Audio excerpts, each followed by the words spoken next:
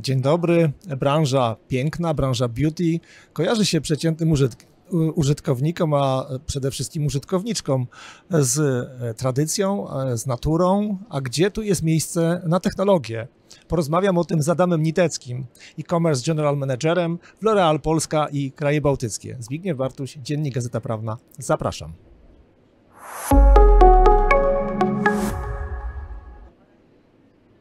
Dzień dobry, miło wi witać Pana tutaj w naszym studiu na Impakcie. Jesteśmy bardzo, na bardzo ważnym wydarzeniu, w którym jest bardzo dużo e, o przyszłości, bardzo dużo o technologii.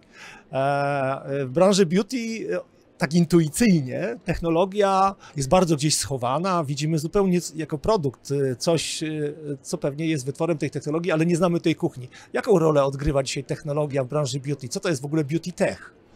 Dzień dobry.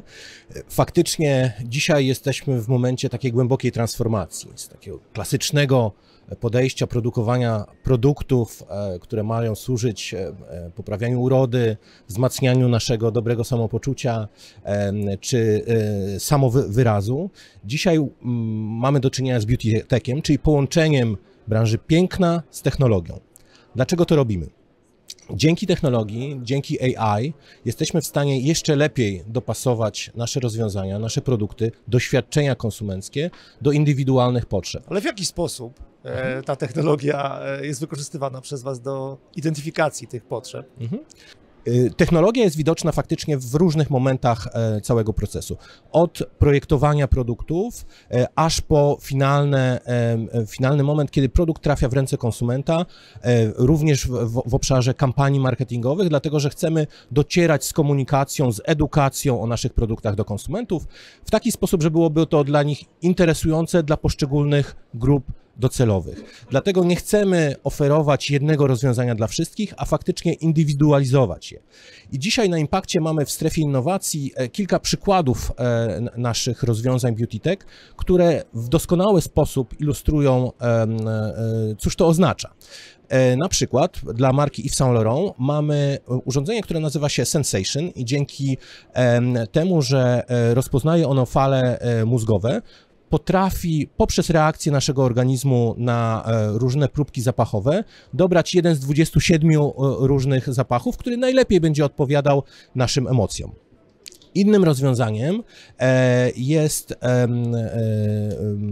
produkt marki Armani, gdzie na bazie bardzo szerokiej bazy danych, mianowicie 100 tysięcy zdjęć, jesteśmy w stanie dopasować pielęgnację dla różnych grup konsumentek, wręcz dla różnych indywidualnych konsumentek, dlatego że ta baza danych jest już tak szczegółowa, że pozwala nam faktycznie dzięki algorytmowi zrozumieć, jaki produkt będzie najbardziej odpowiedni dla konsumentki. E, jak rozumiem, musieliście się stać firmą nie tylko kosmetyczną, nie tylko taką, którą była typowo e, e, osadzoną w branży beauty, ale musieliście się stać tak naprawdę firmą technologiczną ze swoimi no, R&D, tak? czyli całym działem badawczo-rozwojowym w tym zakresie. Jak to wygląda w praktyce? Mhm.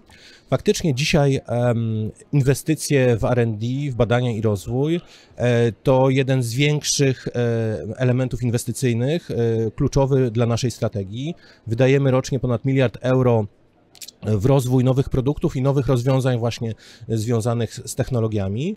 Myślę, że to, co jest ciekawe, to, że w ostatnim czasie stworzyliśmy taki otwarty system innowacji z, naszym, z naszymi dużymi partnerami e, e, technologicznymi, dzięki czemu jesteśmy w stanie po pierwsze mieć dostęp e, w bardzo szybki sposób do najnowszych technologii, po drugie też czerpać z doświadczeń w innych branżach, w związku z czym faktycznie potrafimy rozwijać i adaptować również najlepsze rozwiązania e, technologiczne, które obecnie są e, dostępne. E, Polska, w ogóle ta część Europy, nie bardzo kojarzyła się dotąd z innowacjami. Być może jest to niesprawiedliwy osąd, ale statystyki mówią o tym, że kultura innowacyjna jest tu w stanie dopiero takiego narodzenia, można powiedzieć. E, czy te statystyki kłamią, czy też e, rzeczywiście mamy do nadrobienia jakiś, jakiś dystans, czy, czy skok rozwojowy przed sobą, żeby taką kulturę innowacyjną budować? Jak z Pana punktu widzenia, jako menedżera zarządzającego tym obszarem, wygląda budowanie kultury innowacyjnej? w Waszej firmie na tym terenie tu i teraz? Myślę, że kultura innowacyjna w w Polsce, to e, idealna szansa właśnie na dokonanie tego skoku. E, My jesteśmy gorącym zwolennikiem tego, żeby każdy z naszych pracowników miał faktycznie możliwość ekspresji, kreacji nowych, e, nowych rozwiązań. Jednym z takich flagowych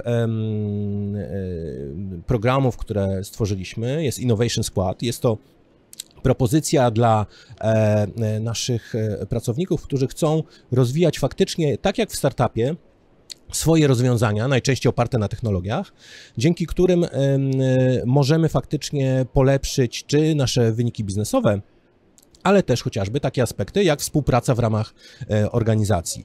Mamy obecnie drugą edycję już naszego programu. W pierwszej edycji mieliśmy trzy bardzo ciekawe e, projekty związane jeden z e-commerce'em, jeden z, e, z technologiami marketingowymi e, i jeden również właśnie związany z platformą, która jest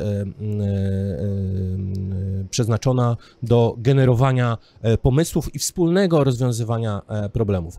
Głęboko wierzymy, że faktycznie ta kultura innowacji, jeśli w odpowiedni sposób stymulowana, wspomagana, widzimy entuzjazm e, e, ludzi, którzy faktycznie dzięki temu, że mogą coś kreować, że dostają na to środki, że są wspierani przez e, e, zarząd firmy, e, faktycznie to pomaga temu, żeby nabrać taki wiatr e, w żagle i faktycznie efektem takiej kuli śniegowej generować coraz więcej e, innowacyjnych rozwiązań. Czują się częścią, a w zasadzie motorami zmiany, tak? Tak można powiedzieć, ci ludzie. A na ile oni mają świadomość, że y, technologia dzisiaj decyduje o przewagach konkurencyjnych tak naprawdę? Myślę, że oni mają bardzo dobrą świadomość tego i dzięki e, właśnie e, tej świadomości są w stanie w najlepszy sposób dobrać technologię do potrzeb, do wyzwań, które Technologia mamy. nie jest dla technologii, tak? Tak. E, Dla nas e, jesteśmy bardzo otw- otwarci e, w, i mówimy wprost, że technologia jest narzędziem. Tak? Technologia sama w sobie jest agnostyczna i to od nas zależy, jak ją będziemy wykorzystywać. My chcemy ją wykorzystywać myśląc o konsumencie, zaczynając od jego potrzeb, zaczynając również od potrzeb organizacji, bo tak jak wspomniałem, Nasze innowacje dotyczą zarówno tego, co robimy e, na zewnątrz firmy, jak i, jak i, e, jak i wewnątrz naszej e, organizacji. Więc ci ludzie faktycznie mają pewien dar zrozumienia, jaka technologia byłaby adekwatna do rozwiązania konkretnego problemu i faktycznie wykorzystanie jej w taki sposób, żeby była to pewna dźwignia do polepszenia tego, w jaki sposób działamy i w jaki sposób współpracujemy między sobą. E, Na koniec nie może zabraknąć pytania e, o wizję przyszłości, bo e, oczywiście żyjemy w tak dużym tempie, że bardzo trudno tę przyszłość przewidzieć, ale spróbujmy, że spróbujmy e, sobie wyobrazić e, tę branżę waszą e, i waszą firmę za 5-7 lat. Mhm. E, Jaki macie cel? Naszym celem jest na pewno to, żebyśmy zaspokajali potrzeby konsumentów w coraz lepszy, a co za tym idzie spersonalizowany sposób. E, To jest taki, takie oczywiste, e, powiedziałbym, dążenie każdej z firm, która chce odnieść sukces i której sukces zdeterminowany jest tak naprawdę e, zaspokajaniem potrzeb konsumentów. Natomiast drugim równie ważnym e, czynnikiem em, e, i kierunkiem jest dla nas, e, są dla nas innowacje i technologie zastosowane w obszarach związanych z ochroną środowiska, ze wspieraniem em, zacierania różnic pomiędzy, wyrównywaniem różnic tak naprawdę między różnymi grupami społecznymi, które można robić właśnie za pomocą narzędzi digitalowych. I to jest dla nas ogromny powód do dumy, dlatego że chociażby w Polsce również e, inwestujemy bardzo dużo w e, naszą fabrykę, fabrykę L'Oreala, która jest jedną z największych fabryk na świecie, e, zupełnie zmieniając to, w jaki sposób produkujemy produkty, oczyszczając ścieki do tego stopnia, że praktycznie mamy zamknięty obwód krążenia wody, dzięki czemu nie oddajemy do środowiska e, e, zanieczyszczeń. Więc e, dużo różnych e, wyzwań, które widzimy w kontekście e, ochrony środowiska i, i naszego impaktu społecznego, które chcemy właśnie w pozytywny sposób, dzięki technologiom, e, móc sprawić, że będziemy takim wzorowym obywatelem e, tutaj w naszym kraju, ale też, też e, globalnie, zaspokajając nie tylko e, potrzeby konsumentów, ale też potrzeby społeczeństwa.